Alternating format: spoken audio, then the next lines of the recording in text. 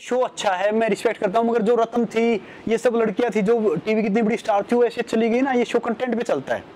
फिर पब्लिक जिसको पसंद करती है, मैं सीडी गया, या कहीं गया तो वहाँ पे काफ़ी आदमी थे पंद्रह बीस हज़ार थे, जो खाली ये कह रहे थे कि हमने आपके लिए वोट किया है, कहीं भी जा रहा हूँ। और मैं जैसा पहले था, वैसा ही अब हूँ, और वैसा ही शो मेरा इनको लगता था कि यार, पता नहीं क्या गेम खेल रहा है, क्या कुछ और सच बताऊँ, मुझे गेम समझ में नहीं आ रहा था स्टार्टिंग में, कि है क्या क्या चल रहा है क्या कुछ एक प्याज पे लड़ाई करते थे, फिर इसको बड़ा करते, फिर थोड़ा छोटा कर देते। रिएक्शन में कुछ रहता ही नहीं था, दस में मतलब देखो एक सबके साथ रहना, अब की बार बिग बॉस ऐसे ही बड़ा था, एक सौ पाँच दिन का था। उसी के साथ सोना, उसी के उसी का मुँह देखना, उसी के साथ उठना तो कितना झगड़ा, आदमी कितनी देर दूर भागेगा।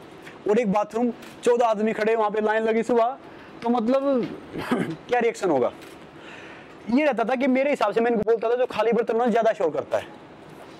जिसमें कुछ होगा, जिसमें कुछ भरा होता है इतना शोर नहीं करता। खाली बर्तन ज़्यादा शोर करता है। तो इनका रहता था स्टार्टिंग में कोई भी चीज़ का मतलब अरमान हुआ, ये हुआ। छोटी चीज़ मिल जाए, उनको सामने वाले को नीचा दिखाने के लिए पूरी कोशिश करते थे। एक वो थी वो, उसको मैं चूया बोलता था, क्या नाम था? प्रत्युषा।